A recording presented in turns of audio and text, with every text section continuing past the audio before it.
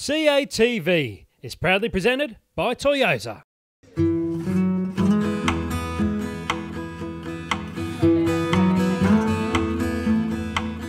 It's a special opportunity. Kids from the Weet-Bix My Cricket program having the chance to walk on the famed WACA grass and to see their cricketing idols up close. But for Chris Woods, this was a morning tinged with poignancy. He was taking the place of his best mate, Cole Lane. Well, I had a best friend who was supposed to be here, and um, he sadly passed away last month, and um, so I was here to take his place. After fighting a two and a half year battle with bone cancer, Cole passed away at the age of 14. And while Chris was putting on a brave face, he was also keeping a protective watch over Cole's little stepbrother Kobe.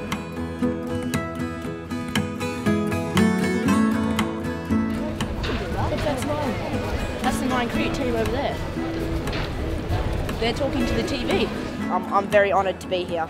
We were very good cricket mates. We played together um, for about a year, and yeah, I've had him over my house, and we played we played very well together.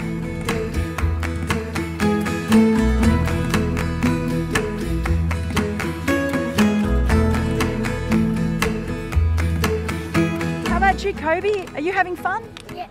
What do you like about doing this? Who are you excited about watching? Australia. And your favourite player? My dad.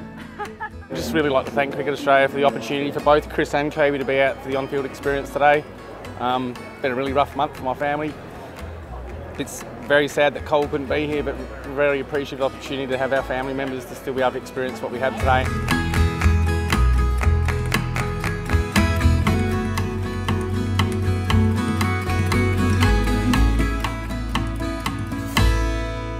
Are you, mate?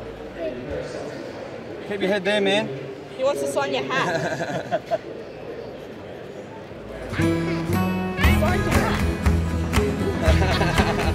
You're cool, aren't you?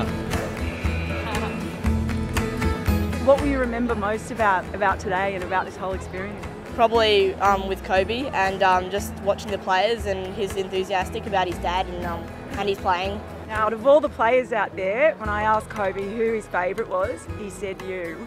Well, I'd love to be out there playing. I don't think I'm good enough to do that, unfortunately, but you know, I'm, I'm glad that he thinks that way of me, and hopefully he can end up there one day, and I'll be proud to watch him every day he's out there for sure.